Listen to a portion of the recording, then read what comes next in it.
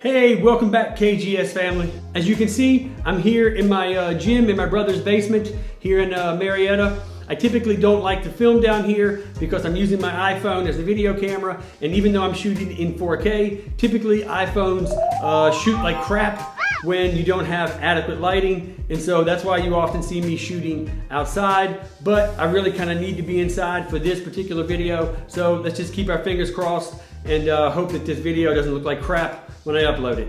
So if you've ever had a conversation with me about physical fitness, or maybe you've worked out with me, or maybe you follow this channel, I'm sure you realize by now that there are several very basic philosophies that really drive my approach to physical fitness. One of these uh, philosophies is that of simplicity. I really don't think that becoming physically fit is complicated. I don't think you need to have a membership at the most expensive gym in town or have access to elaborate machines, you know, cutting edge technology. I don't think you need to have your workouts programmed for you uh, by people with PhDs in exercise science. I don't even think you need a lot of space or time. Some of my favorite workouts that I like to do and film and post for all of you to enjoy are workouts where I really feel like I've reduced exercise and fitness to its most rudimentary form, its lowest common denominator as it were.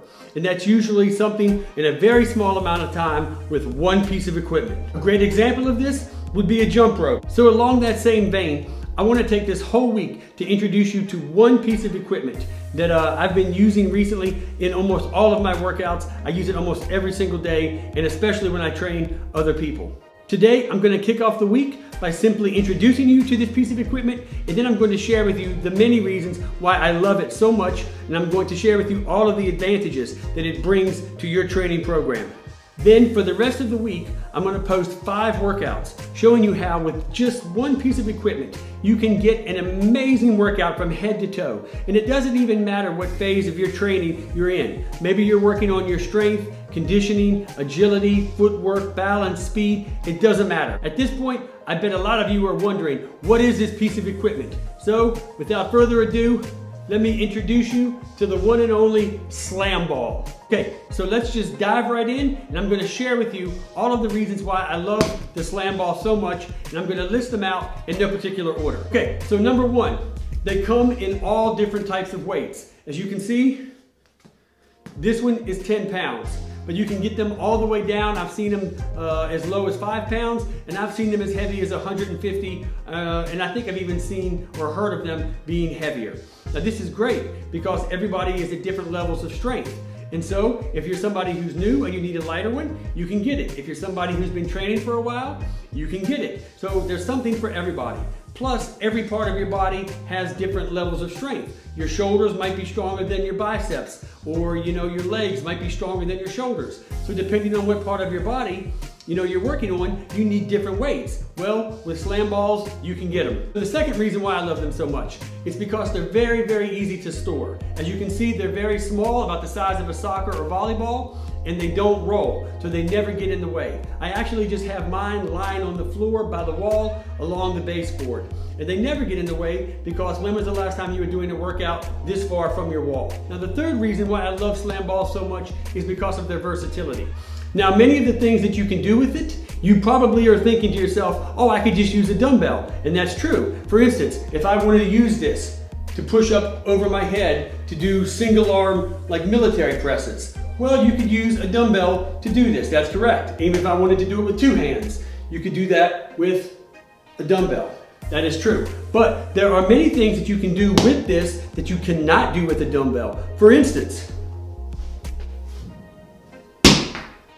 that you should not do with a dumbbell. This,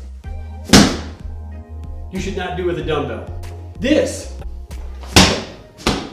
you should not do with a dumbbell. But this brings me to my fourth and final reason why I love slam balls so much, and that's safety. You know, people come to the gym for lots of reasons. They come there to socialize, make friends, get out of the house, you know, exercise, get stronger, etc. But the one reason why none of us come to the gym is to get hurt.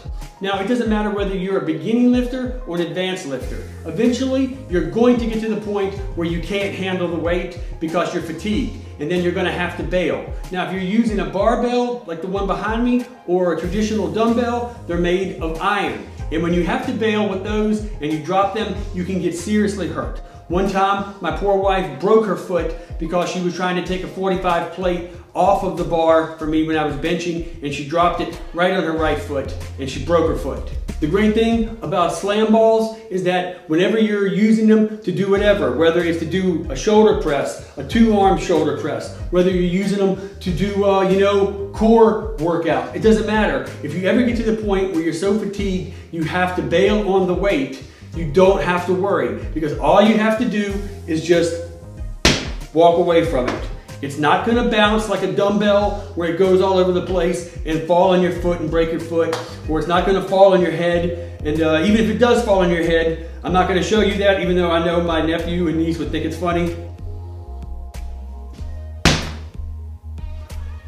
It doesn't hurt. So safety. Slam balls are very, very, very safe, especially for beginning lifters who really don't know how to handle the weight very well and oftentimes find themselves in positions where they have to bail on the weight and they don't know how to do that safely. So that's it for this episode. Even though I can talk about slam balls all day, I have to wrap this up because I'm losing light outside, which means that the video quality of this episode is getting crappier by the second. So I'll just end by saying that I hope you enjoyed this video. I hope that you will seriously consider incorporating slam balls into your training program. You can go online and get them at rogue.com. You can get them at Dick's Sporting Good, all over the place, any place where they sell weightlifting equipment. You can get them. The lighter they are, the cheaper, the heavier, the more expensive, right? So I hope you stick with us for the rest of this week. I was gonna name this whole series, I've had enough of this, slam it. But then I thought that might be a little cheesy. So we're just gonna call this uh, Slam Ball Med Ball Week. And uh, I hope you continue to follow along. If you uh, enjoyed this video, give me a big thumbs up and make sure to subscribe and uh, continue to follow and you'll get all of our videos. I hope you uh, come along for the ride. So until next time, don't forget, Psalms chapter 139 tells us that each and every one of us was fearfully and wonderfully made by the hand of our Creator above. And it is in Him that we live and move and have our being. So for the rest of this day and week, whatever you eat, drink, and do, that's right, keep getting stronger. I'm out of here.